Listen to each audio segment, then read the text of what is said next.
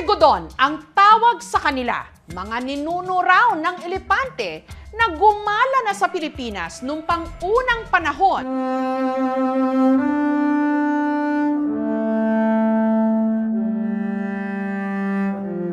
Nagbubungkal ng lupa kamakailan si Ross. Hindi niya tunay na pangalan nung may nakita siyang ekstraordinaryong bato. Kakaiba raw kasi ang pattern nito. Inutusan ako ni ina na magbaon ng shell ng tahong kasi mabaho siya kapag basta na lang tinapon. Tamang-tama kasi magtatanim din ako that time. Habang naghuhukay ako, doon ko na nakita yung bato. Iba yung pattern niya. Kakaiba. Hindi siya yung ordinaryong bato na makikita natin sa gilid-gilid lang. Ilang tangkal din kasi yung haba niya. At syempre, kinuha ko kasi na-curious ako baka may value, ganun. Kasama sa nahukay ni Ross, ang pinaniniwalaan niyang tusk o pangil na ang haba nasa higit isang talampakan o one foot. After nung isang kakaibang bato, maya-maya pa, may nahukay ulit akong parang pangil. Nung una ay nakala ko na parang sungay ng kapre kasi may mga malaking puno malapit doon sa pinagkukayan ko. Kinabahan pa nga ako kasi alam mo naman sa Pinas, uso yung mga makapanindig balahibong urban legend. Pinakita niya ito sa kanyang kaibigan at sa pagre-research nila sa internet, natuklasan nilang malaki ang pagkakahawig nito sa buto ng isang hayop na nabuhay sa mundo 11 million years na ang nakakaraan. Ninuno ito ng mga elepante, mas mahaba at patagilid ang tusks na umaabot hanggang 10 feet. Ang tawag dito, stegodon. Ang mga stegodon nabuhay sa Africa, North America at ilang bahagi ng Asia.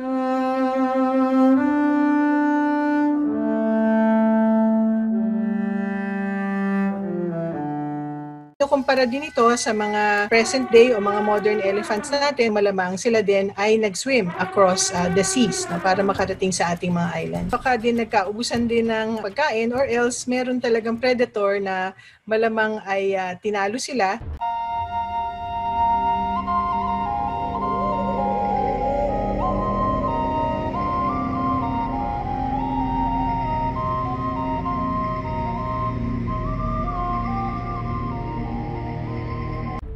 1987, nahukay ang sinasabing ngipin, buto at Diyos ng Stegodon sa Antipolo Rizal.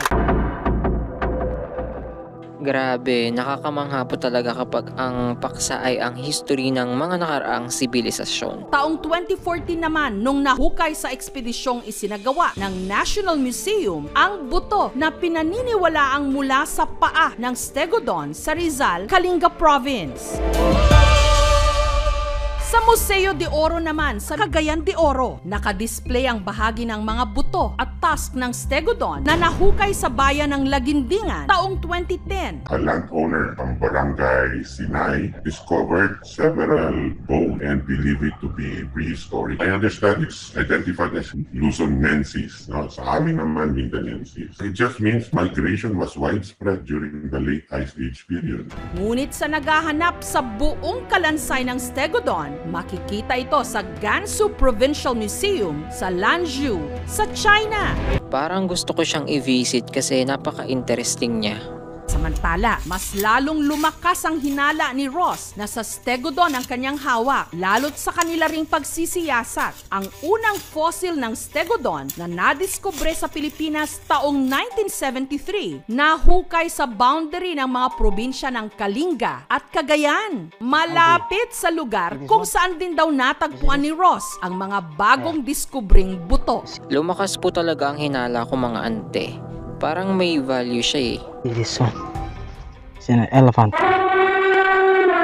Kung sakali raw na mapatunayang sa Stegodon nga ang kanyang nahukay, plano raw niya itong ibenta. Kung sakaling may value, syempre ibebenta ko yan. Baka dyan pa ako maging milyonaryo, di ba?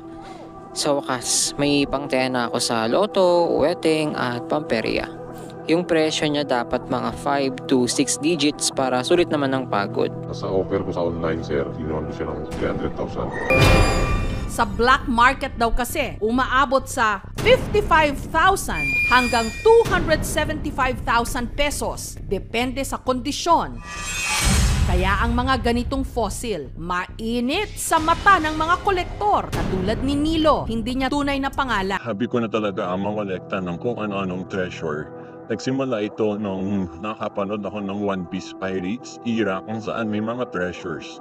Sobra ko kasing na-appreciate ang mga fossils lalo pa at daan o libong taon nang ikinatagal nila sa mundong ito. Tunayan, meron si Nilo na fossilized megalodon shark tooth mula Quezon at Bohol, ammonite at trilobite fossil mula sa Japan, at woolly mammoth hair at tusk na nagmula raw sa Russia. O di ba, ang dami ko ng collections. Siguro ang may i-offer kong price kay kuya ay 1K plus na dolyar or 51,025 cents sa pesos.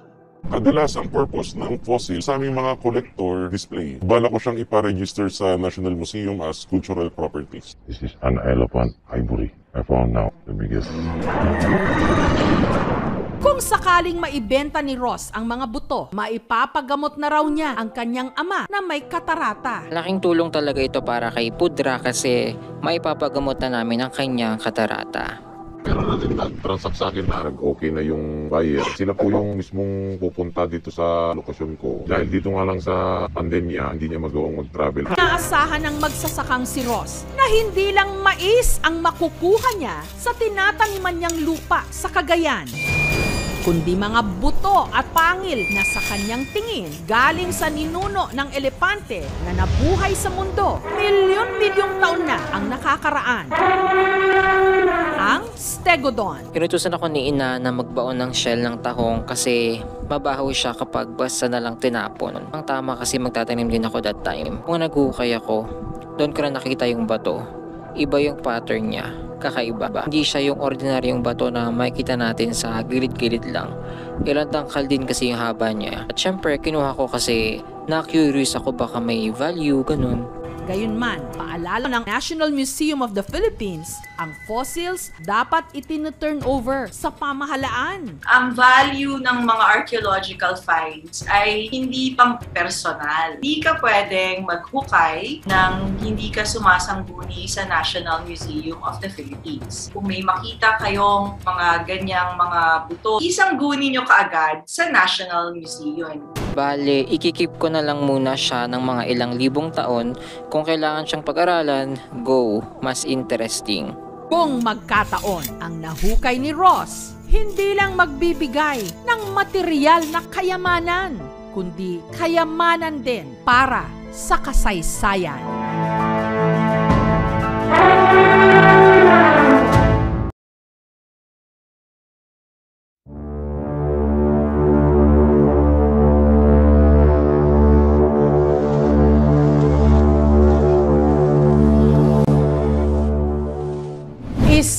Ordinaryong puno ang di umano may misteryo.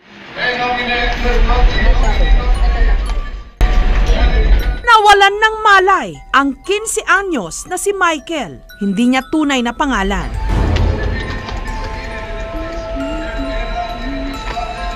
Punong-puno ng tensyon ang mga nakapaligid sa kanya. Tulong-tulong nilang hinahawakan at dinadasala ng binata na di umano sinaniban.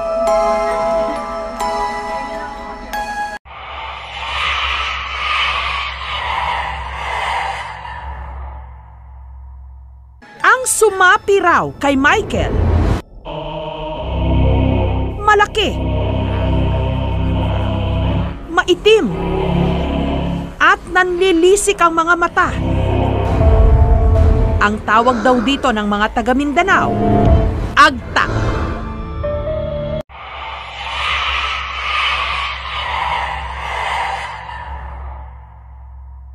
Masamang elemento na bantay daw sa mga puno na kalimitang inihahalin tulad sa kapre.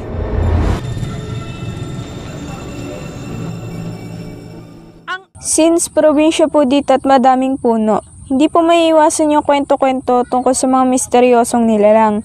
Mga lamang lupa na siya na lagi nagpapanamdam sa ibang residente dito.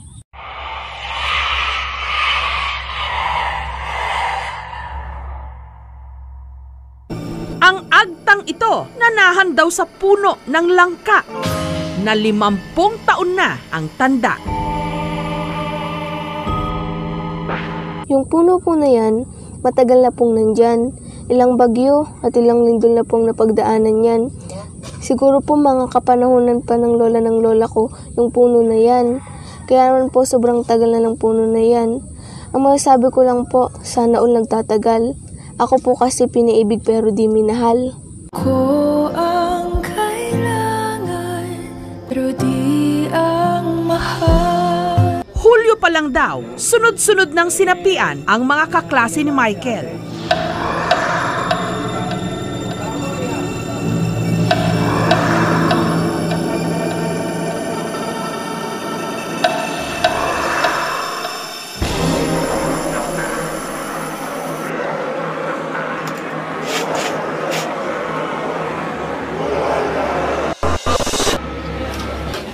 Una po, ako yung sinapian. Naglalaba po ako, kauupo ko lang tapos maya maya sumakit yung ulo ko. Dahil sobrang hilo ko, ang hirap po talaga tumayo. Pero dahil na din po sa dedikasyon at lakas ng loob, nakaya ko pong tumayo. Tapos nung pagtayo ko, medyo masakit pa din po yung ulo ko, kaya sumayo na lang po ako ng spaghetti pababa para bongga na. Dahil di pa rin po masyadong naaalis yung sakit ng ulo ko, kaya naisipan ko pong sumayaw ng It Really Hurts. It really hurts ang magmahal ng ganito. It really hurts ang magmahal ng ganito. It really hurts ang magmahal ng ganito.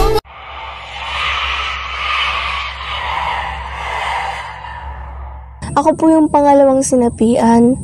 Nagwawalis naman po ako sa ilalim ng puno. Naisipan ko pong magwalis kasi nahiya na ako sa sarili ko. Paulit-ulit na lang kasi yung routine ko. Gising, kain, cellphone, tulog. Ah, baka po isipin nyo na nagpupuyat ako. Pero nagkakamali po kayo kasi wala naman po akong kaharutan tuwing gabi. Ang hirap kasi na may kaharutan sa gabi tapos bigla na lang hindi nagparamdam kinabukasan.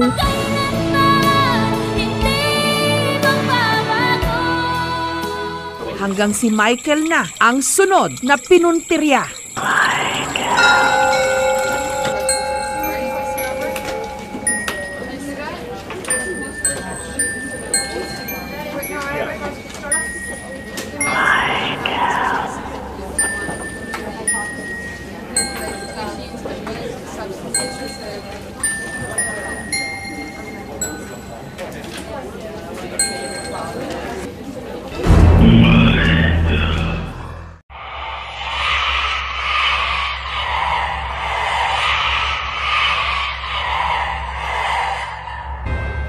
Pagkatapos marinig ang isang boses.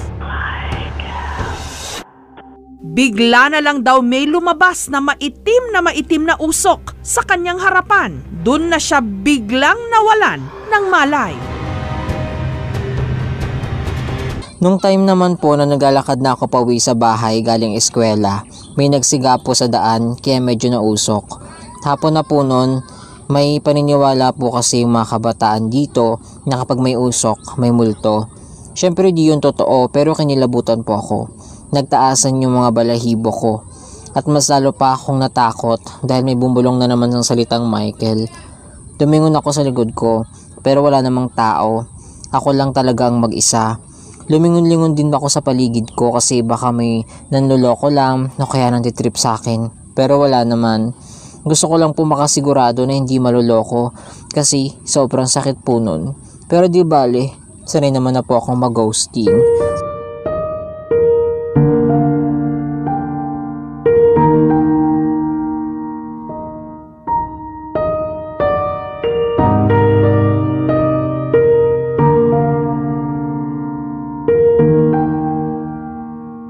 Kaya agad isinugod si Michael sa kilalang nagde-deliverance o yung nagpapawala ng sapi.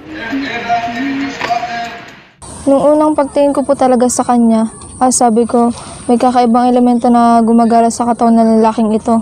Yung itsura niya po kasi parang pagod na pagod, tapos yung mukha niya hindi normal, parang nga talaga siyang sinaniban. Nung hinawakan ko siya, tama nga talaga yung hinala ko, dahil may misteryosong nilalang nga talagang gumagambala sa lalaking ito. Nung hinawakan ko siya, bigla siyang nagwawala. Siguro nakasens yung elemento ng panganib, kaya pinilit siyang lumaban. Pinasalan si Michael, nilubayan na raw siya ng masamang elemento. Nung una, gumamit muna ako ng mga dahon-dahon para malaman kung effective ba talaga. Kasi dito natin malalaman kung malakas o mahina ba talaga yung elemento na sumanib sa kanya. Nung sinubukan ko yung dahon, hindi siya naging effective. Kaya naman gagamitin ko na yung pangalawang paraan. Dinasalan ko siya at pagkalipas ng ilang minuto, nawala yung sanib. Dasal talaga yung pinakamakapangyarihan na sandata sa masasamang elemento.